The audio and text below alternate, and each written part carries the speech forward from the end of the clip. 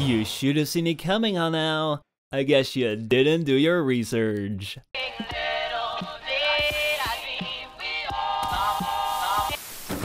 Today we're talking the second dream. Yes, our good old 2015 quest that changed the entire game, or at least our perception of it.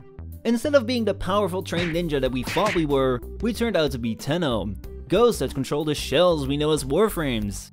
Get it? Ghost in the shell? Am I the only one that's seen the anime?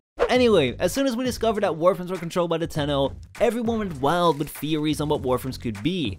And today we're looking into one of those namely the approach that warframes are in fact machined weapons.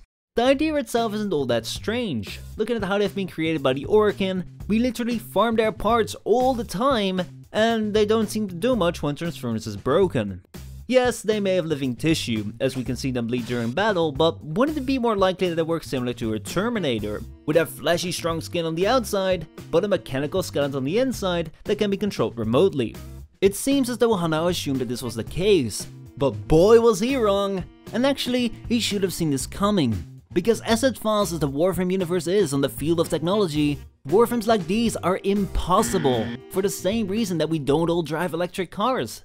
They just don't have enough energy, as even the most modern batteries cannot hold that much power. As an example, lithium-ion batteries, like the ones used in Teslas, store between 0.36 to 0.88 megajoules per kilo, whereas diesel stores up to 48 megajoules per kilo. Back to the Warframe universe, we can find out how much energy their batteries store by doing excavation, where we see that a battery this size can only power an excavator for 20 seconds. Looking at the proportions of Warframe, there is no way that they would have enough energy to go for an 8 hour world record run that we all love to see. Proving that there's more to Warframes than some nuts and bolts, or that they're nuclear?